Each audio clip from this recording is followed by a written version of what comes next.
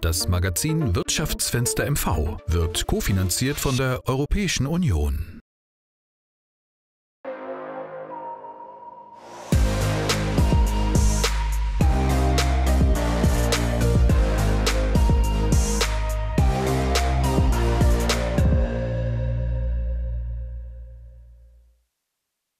Ich begrüße Sie zum Wirtschaftsfenster MV. Liebe Zuschauerinnen und Zuschauer, in unserem MacPomweit Magazin berichten wir über Forschung im Arzneimittelbereich, wir werfen einen Blick in eine Rostocker Berufsschule und wir nehmen Sie jetzt mit in eine dem Tierschutz und dem Tourismus gewidmete Einrichtung.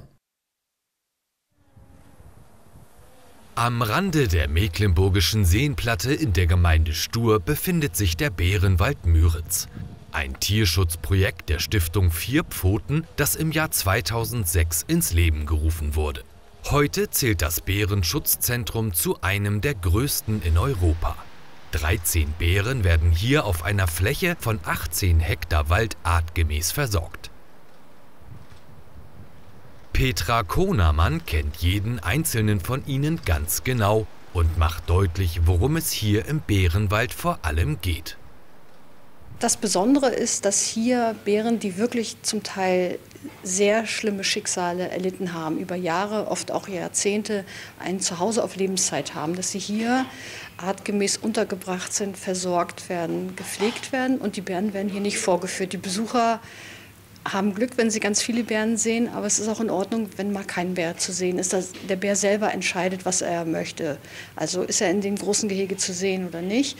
Und das ist schon das Besondere. Und das das merken wir auch, dass das bei den Besuchern so gut ankommt, dass sie merken, ah, so kann also eine Haltung von Wildtieren auch aussehen. Angefangen mit einem Bär und knapp 1000 Besucherinnen und Besuchern pro Jahr, sieht es heute im Jahr 2024 deutlich anders aus. Im Schnitt besuchen rund 100.000 Gäste den Bärenwald und erfreuen sich an dem umfangreichen Angebot. Im Jahr 2017 wurde das Besucherzentrum samt Eingangs- und Kassenbereich neu errichtet, natürlich alles barrierefrei. Ein Bistro bietet den Gästen mit einer Auswahl an täglich frischen Speisen die Möglichkeit, sich auch ohne einen Spaziergang über das Gelände hier aufzuhalten. Zusätzlich dazu gibt es auch einen Shop im Bärenwald. Hier werden nicht nur Kalender und Fotos, Ansichtskarten, Bücher und Kuscheltiere aus der Eigenproduktion, sondern auch kulinarische Spezialitäten aus der Region angeboten. Durch die finanzielle Unterstützung aus dem Europäischen Fonds für regionale Entwicklung konnten diese Angebote als saisonverlängerte Maßnahme umgesetzt werden. Also ohne die Förderung wäre das Besucherzentrum in dem Umfang und so schön, wie es jetzt hier steht, nicht möglich gewesen. Wir, also der Bärenwald finanziert sich ja aus Spenden und aus den Geldern, die wir von unseren Besuchern bekommen, wenn sie jetzt hier zum Beispiel was essen, was trinken, was einkaufen. Und in dem Maße wäre das nicht möglich gewesen, das zu finanzieren. Und deswegen ist so eine Förderung für uns natürlich toll. Wir haben ja auch ein großes Schild, wo jeder Besucher lesen kann, ja, das ist gefördert mit Mitteln der EU und das finde ich, wir sind dankbar dafür und das wollen wir auch gerne nach außen transportieren. Deswegen ist ja unser großes Schild auch so gut sichtbar bei uns im Besucherzentrum zu sehen. 90 Prozent der Investitionen wurden dabei gefördert. Die restlichen 10 Prozent kamen von der Tierschutzstiftung Vier Pfoten dazu. Das Tierschutzprojekt Bärenwald Müritz natürlich, nachhaltig und nicht mehr wegzudenken. Auch unser nächster Beitrag hat im weitesten Sinne mit Beeren zu tun. Es dreht sich um einen Wirkstoff, der einst aus Beerengalle gewonnen wurde. Mehr erzählen Ihnen unsere Kollegen aus Vorpommern. Die Firma Food and Pharma Services Anklam GmbH gründete 2019 das Bioökonomiezentrum bei Murchin. Aus einem ehemaligen Schlachthof entwickelte sich so ein neues Unternehmen, welches sich auf die Analyse von Lebensmitteln oder Trinkwasser und die Entwicklung neuer umweltwissenschaftlicher Methoden spezialisierte.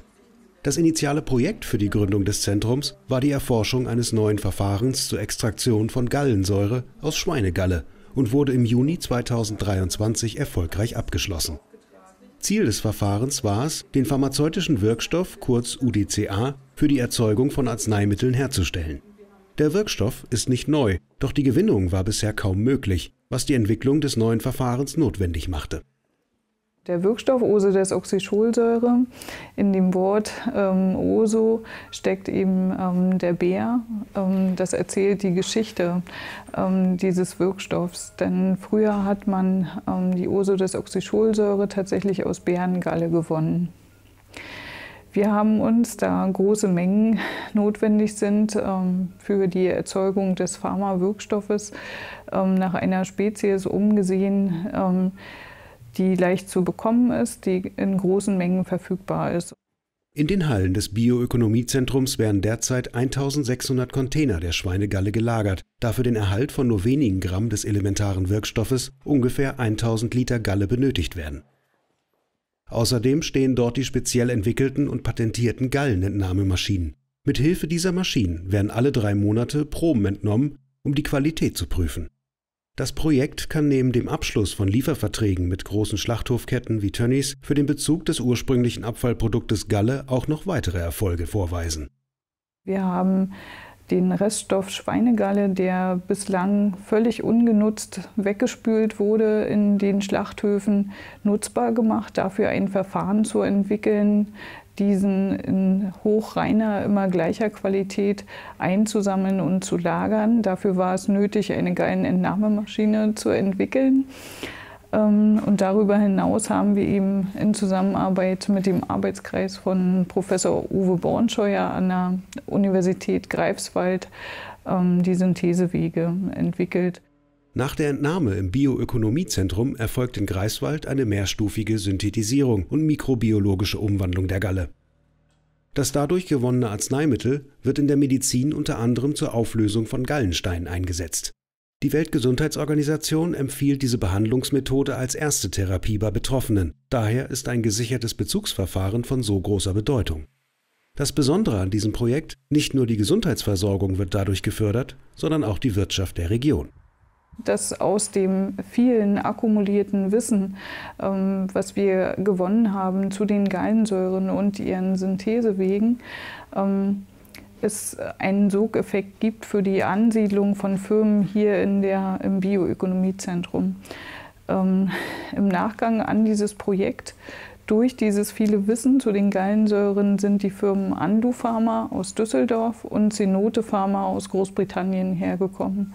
Das heißt also, dass nicht nur Arbeitsplätze entstanden sind während des Projektes, sondern eben auch darüber hinaus. Die gesamten Kosten der Forschung belaufen sich auf ca. 3,5 Millionen Euro.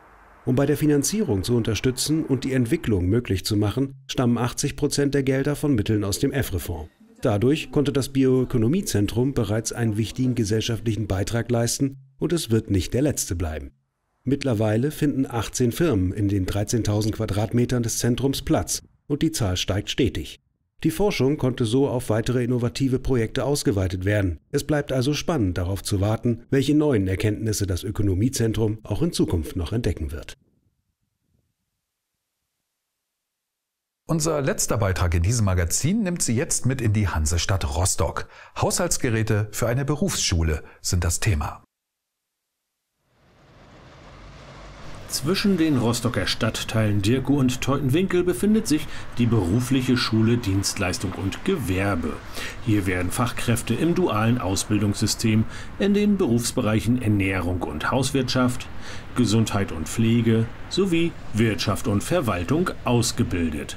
Im Rahmen der Berufsvorbereitung werden zudem schulpflichtige Jugendliche in verschiedenen Berufsvorbereitungen wie berufsvorbereitendes Jahr oder Bildungsmaßnahmen beschult. Für die praxisnahe Ausbildung in den benannten Berufen und Bildungsmaßnahmen stehen verschiedene gut ausgestattete Lehrkabinette zur Verfügung. Wir haben fünf große Berufsschulen in Rostock, die auch Berufsschulzentren sind die weit über unsere Stadtgrenzen hinaus in das Land Mecklenburg-Vorpommern hinausreichen. Diese Berufsschule bildet auch insbesondere im Gastronomie- und Haushaltsbereich Berufe aus. Das sind also sehr praktische Dinge, die dort an der Schule gelehrt werden, also weit weg von der nur Theorie einpauken und äh, da ist es wichtig, dass man auch tatsächlich ein Umfeld suggeriert, wie in einer richtigen Großküche, wie im Hotel, wie in einem Restaurant. Denn Mecklenburg-Vorpommern ist Urlaubsland und wir brauchen Fachkräfte, die genau diese Gastfreundschaft auch umsetzen können in, in verkaufbare Produkte. Darüber sind wir sehr froh. Ähm, auf der anderen Seite leisten gerade auch die beruflichen Schulen wichtige Beiträge zur Integration von Geflüchteten in unserem Land, nämlich je schneller sie es schaffen, sich auf dem Arbeitsmarkt zu etablieren, umso größer sind die Integrationschancen insgesamt. Um die praxisnahe Ausbildung auch real nach- und abzubilden, wurden die Lehrkabinette mit verschiedenen und neuen Haushaltsgeräten versehen. Im Einzelnen konnten hier sechs Induktionsherde, sechs Backröhren, ein Einbaukühlschrank, zwei Geschirrspüler, ein Wäschetrockner, zwei Heißluftfritteusen, eine Heißmangel und zehn Puppenköpfe angeschafft werden. Die Ausstattungskosten betrugen knapp 70.000 Euro und wurden mit einem Betrag von knapp 63.000 Euro durch den Europäischen Fonds für regionale Entwicklung unterstützt unterstützt. Ja, die Europäische Union unterstützt uns auch so im Kleinen bei der Erledigung dieser Aufgaben und ermöglicht vielleicht hier und da auch etwas anzuschaffen, was werthaltiger ist, was länger hält, was letztlich dann den Zweck größer oder, oder, oder längerfristig erfüllt. Denn letztlich kommt es darauf an, tatsächlich auch heute schon an die Generationen von morgen zu denken. Und hier hilft uns die Europäische Union mit ihrer finanziellen Unterstützung in Größenordnung. Aktuell sind in der Berufsschule Dienstleistung und Gewerbe 992 Schülerinnen und Schüler sowie Auszubildende registriert. Vier Klassen sind mit geflüchteten Jugendlichen belegt. Diese lernen Deutsch und Fachpraxis.